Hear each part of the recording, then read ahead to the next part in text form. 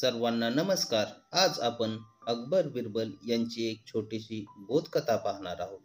या बोधकथेचे नाव आहे लाचखोरीचे बक्षीस. बिरबलाची कीर्ती ऐकून राजाने त्याला आपल्या दरबारात येण्याचे आमंत्रण पाठविले. त्याप्रमाणे बिरबल राजांकडे आला. पण बादशहाच्या राजवाड्यात मात्र त्याला कोणी जाऊ देत नव्हते. प्रत्येक पहारेकरी त्याला हकलून लावत असे. बिरबलाने आपल्याला बादशहानेच बोलवल्याचे सांगितले. तेव्हा तेथील एका पहारेकऱ्याला लोभ सुटला व त्याने बिरबलाला म्हटले की तुम्हाला बादशहाकडून जे काही बक्षीस मिळेल त्यातले अर्धे बक्षीस तुम्ही मला दिले पाहिजे. हे कबूल असेल तर आज सोडतो. बिरबलाने ते कबूल केले व बादशहाच्या दरबारात प्रवेश केला. बादशहाने बिरबलाला अनेक प्रश्न विचारले. बिरबलाने सर्व प्रश्नांची अचूक उत्तरे देऊन बादशहाची मर्जी जिंकली. बादशहाने खुश होऊन त्याला काय हवे ते मागून घेण्यास सांगितले.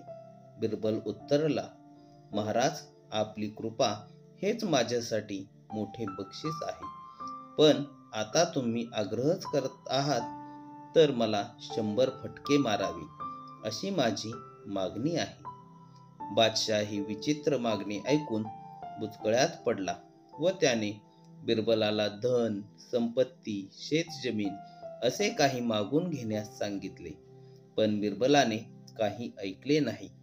तेव्हा नाईलाजाने बादशहाने बिरबलाला शंभर फटके मारण्याचा हुकूम दिला.